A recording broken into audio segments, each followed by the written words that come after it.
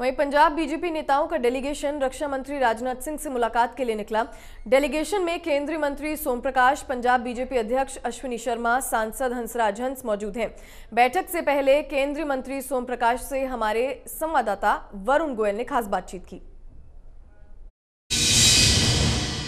हमारे साथ मौजूद हैं भारत सरकार के मंत्री सोम प्रकाश जी। सर, रास्ता कैसे निकलेगा? अभी क्या स्थिति है? ਦੇਖੋ ਪਾਂਚ ਦੌਰ ਦੀ ਗੱਲਬਾਤ ਹੋਈ ਇਹਨਾਂ ਨਾਲ।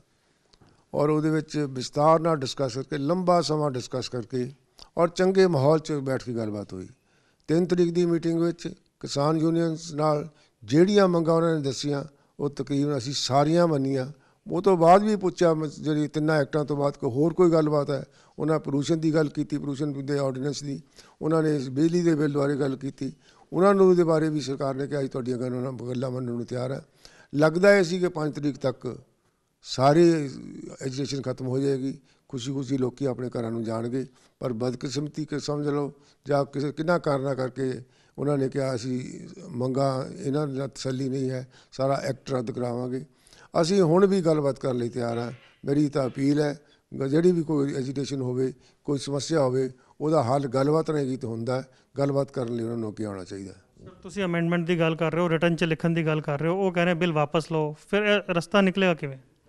ਦੇਖੋ ਹਰ ਗੱਲ ਦਾ ਰਸਤਾ ਕੋਈ ਸਮੱਸਿਆਵੰਤ ਵਿੱਚ ਬੈਠਣਾ ਪੈਂਦਾ ਗੱਲਬਾਤ ਕਰਨੀ ਹੈ ਤੇ ਹੱਲ ਕੱਢਿਆ ਸਰਕਾਰ ਨਾਲ ਬੈਠ ਹੱਲ ਕੱਢਿਆ ਜਾਵੇ। ਅੱਗੇ ਕੀ ਬਾਤਚੀਤ ਡਿਰੇਲ ਹੋ ਨਹੀਂ ਅਜੇ ਤਾਂ ਗੱਲਬਾਤ ਕਿਸਾਨ ਯੂਨੀਅਨ ਕਰਨਾ ਚਾਹਣਗੇ ਇਸ ਗੱਲਬਾਤ। ਅਪੋਜੀਸ਼ਨ ਕਹਿ ਰਿਹਾ ਵੀ ਆ ਗਵਰਨਮੈਂਟ ਕਾਂਗਰਸ ਦੀ ਗੱਲ ਹੈ ਕਾਂਗਰਸ ਦਾ ਵੀ ਚੋਣ ਮੈਨੀਫੈਸਟੋ ਇਹੀ ਸੀ।